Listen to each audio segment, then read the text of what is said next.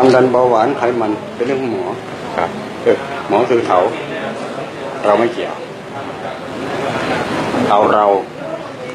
ปวด ถามว่าจะให้ช่วยอะไรก่อนครับ ปวดปวด ช่วยอะไรก่อนในร่างกายปวดนะปวดอะไรก่อนล่ะปวดเอ่อกระดูกทับเส้นมันอยู่ตรงไหนตรงแถวขาเมื่อกี้เมื่อกี้เขาย้ำมากเลยกระดูกเส้นคำว่าคำว่า กระดูกทับเส้นมันเป็นเขาครับเขาบอกอยู่เออของเรามันปวดครับ ปวดตรงไหน ปวดที่หลังขาขาเออ มันต้องตอบอย่างนั้น ยังไปตอบกระดูกทับเส้นอยู่นี่เขาพูดมาตลอดอ่าโอเคไหมโอเคครับคำพูดคำว่ากระดูกทับเส้นเนี่ยถามว่าได้ยินมากี่เดือนกี่ปีแล้วจากเขา ประมาณยี่สิบวัน ยี่สิบวัน ประมาณรวมๆเดือนนะไปกินไปฉีดแล้วก็ไม่หาย ไม่หายได้กินยาไหมกินได้ฉีดยาไหมฉีดยาแก้ปวด ก็ไม่หายเนาะมาถึงปวดนาเลยก็ทีคือมาถึงเดี๋ยวเนี้ยมันสองมือเปล่ากันเปล่าโอเคนะดวงตานะว่าอะไรมันจะแน่กว่ากันครับ โอเคนะตกลงข้างขานะลองนิ้วแตะสิครับ โอเคเข้าใจแล้วผมแค่นี้ผมก็เข้าใจแล้วอ่า เห็นไหมผมมาจับนี่ ปวดนั่นจะมาจับนี่คนละเรื่องเลยเพราะผมจะรู้ร่างกายทั้งหมดอะไรคือเซนเตอร์มันเข้าใจไหมครับ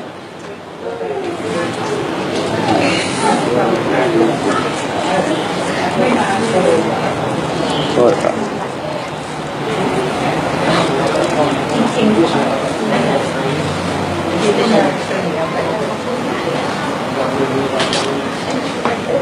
ษครับ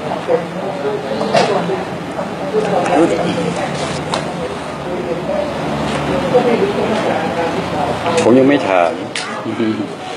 ให้สังเกตตัวเองก่อนนะครับถ้าผมถามผมจะถามว่า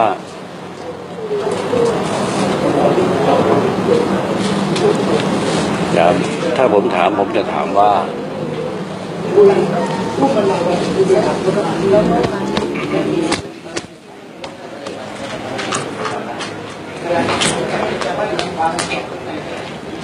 มว่า หายหรือยังถ้าผมถามผมถามครับนั้นขยับครับ จึงจะรู้ว่าหายถ้าผมถามผมถามคำนี้คำตอบตอบเองนะ ครับแค่สองหมื่นบาทกับยี่สิบวันที่ผ่านมาไปใช้บริการเนาะต่อไปเรื่องอื่นมีไหมครับร่างกายเป็นจุดอื่นมีไหมครับ มีแค่ลมประวาอะไรอย่างเงี้ยแค่นี้เองผมจะแถมนะทีนี้นะจะแถมให้เอาความแข็งแรงกลับไปดีไหมให้ความแข็งแรงกลับไปสังเกตเนาะครับหายใจไว้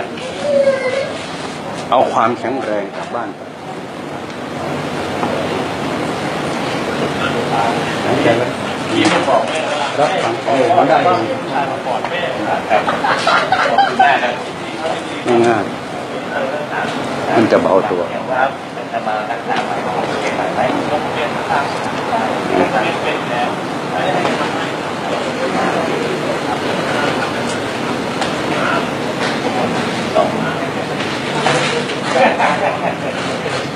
นะก้มตามซะอืม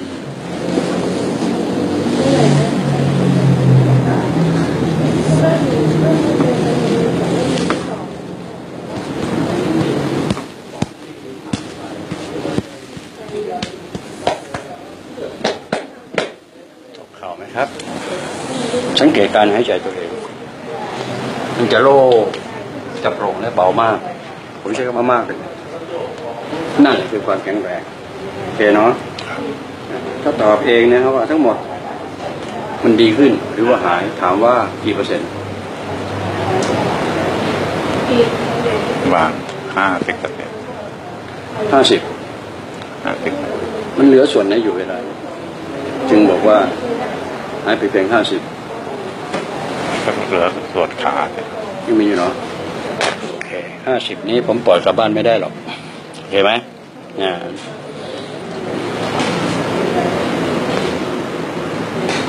โยษโทษครับ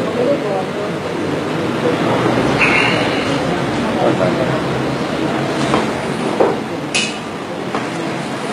อืมโทษครับามว่า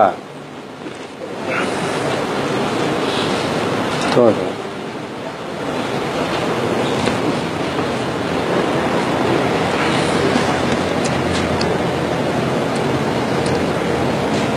เอาล่ะหวังว่าคงมีคำตอบแล้วครับ เป็นไง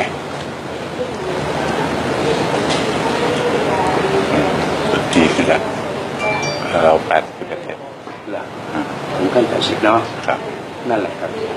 ห้าสิบผมปล่อยกลับบ้านไม่ได้หรอกแปดสิบครับกลับได้สบายเนาะครับโอเคว่าแล้วก็เสร็จรับสารอืมอืมข้างบนเนี่ยนะข้างบนเนี่ยตรงนี้อืมอืม ร